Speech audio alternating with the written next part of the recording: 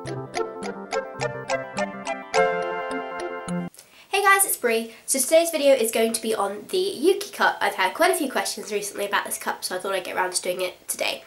Um, I did actually manage to remember to keep the stem of the Yuuki cup because as I cut all the stems off my cups, I thought I should probably try and keep hold of the ones I can remember to keep hold of. So this is the stem to the Yuuki cup and I will show it to you in a minute. I have the smaller sized Yuuki cup and I have the soft resistance Yuuki cup. The Yuuki Cup Classic Resistance happens to be what we call the rock. It is so, so firm. There is literally no way your muscles could possibly keep that cup closed. Seriously, it is super strong. But even the soft resistance is not what I call soft. Um, but it's a very good resistance. I would compare it in resistance to the Lunette, the soft Yuuki. Uh, so it's got some pretty decent grip rings, as you can see there. And stem is here. Kind of get an idea. The stem is kind of stretchy, but not really stretchy, and it's hollow and it's very, very squishy. So the Yuuki Cup has quite a prominent-ish rim. It has four suction release holes that slope upwards. Has this rim around here, and it's obviously very clear. These grips are actually very good. They're not quite as good as the MeLuna's grip rings or those Fleur Cups grip rings, but they are still pretty good. And it has two measuring lines for 5 and 10 millilitres, I think. This is a smaller cup, so it can hold around 20 millilitres of fluid. Uh, I really like this cup actually. I've said quite a few times I do like this cup. It's a good resistance. It's not too firm, the soft one, but it's also not too soft. It does always open, but it is still quite a strong opening cup. I can still feel it pop. It is one of those cups I can feel pop open. Um, I don't get the air bubble effect around this. It's almost like my uh, an in-between from my Lunette cup and my Juju cup. The Juju cup I love because I have no issue getting it open. It opens up really easy, re really softly and stuff. The Lunette I can sometimes feel pop open, but it does almost certainly always pop open. This is kind of in the middle. Sometimes I can feel it pop open, sometimes I can't, and sometimes I will get the air bubble effect and sometimes I won't. So it's a bit of a in-between cup there.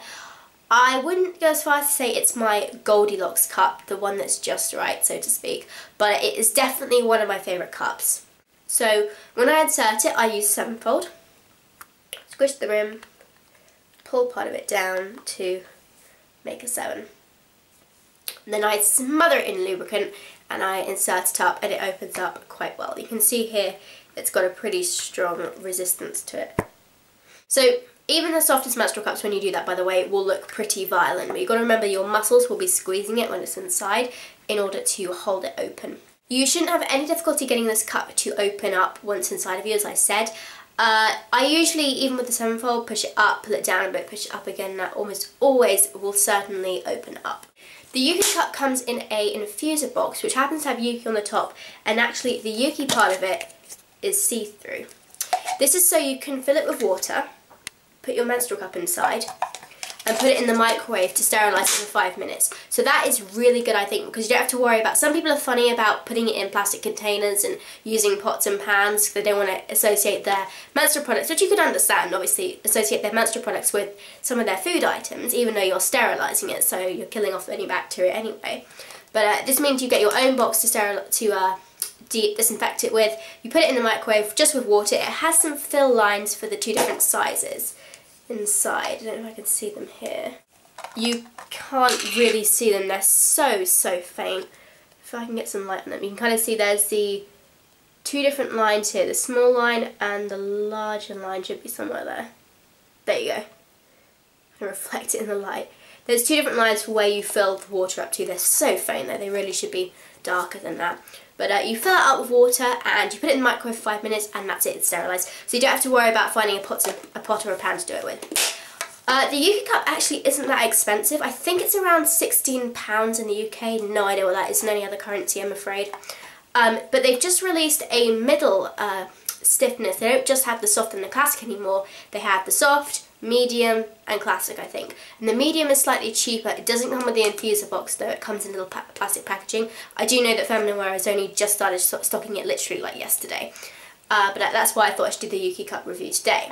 So that is one of the big benefits I think to this. It doesn't come with a pouch, but it does come with this, and that really is a good um, advantage for some people, I think. So if you are one of those people who's funny about having places to sterilise your cups, even though you can get like the silicone cup sterilisers that go in the microwave, this cup actually comes with its sterilising kit, so that is fabulous. The Yuuki Cup Large, which I don't have with me, uh, I don't have because I don't need a large cup, It's actually one of the biggest menstrual cups on the market. It's been pushed out recently by the Love Your Body menstrual cup, which I will not even attempt to try, so don't even ask me to. It's a monster, that cup, I have seen it. Uh, but it's one of the largest capacity cups. It holds up to 30 millilitres, I think. So if you're a heavy flow bleeder, you really should consider looking into that cup. But as I said before, the Yuuki is considered the rock in the menstrual cups community, so you just have to be careful of that. But the softness isn't that soft. Um, if I can find a cup, I might compare it to my SiBell. So I've just grabbed my SiBell cup and my Lunette cup. I'll compare it to the SiBell first of all. The SiBell is a really, really soft menstrual cup, I should just mention. So here you go. The SiBell and the Soft Yuuki, both in the smaller sizes. And let's get the comparison of the rims. I think the rim of this cup is about 42-43 millimeters across. They're really very similar in length and diameter. And the lunette cup on top. They're a lot more similar in their resistance. Compared together. And like that. So actually the shape of these two cups is pretty similar. This um, lunette probably is more bell shaped than the Yuuki cup. The Yuuki cup is longer, but it is still quite a bell-shaped cup. It's not a long, narrow one. So overall, I did really, really like the Yuuki. It is a cup I do reach for quite frequently in the, um, when I'm on my cycle.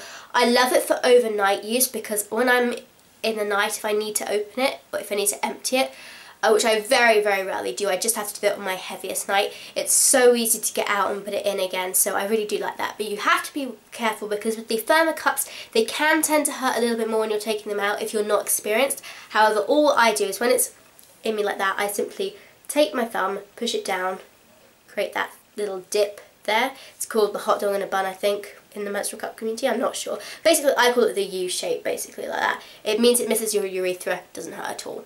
So thanks for watching guys, I hope that helped answer any of your questions about the Yuuki Cup, I do really like it. You've had a good look at it now and I hope it helped you make a decision on whether you want it or not. But thanks for watching guys, please subscribe to me and like me on Facebook and I will talk to you later.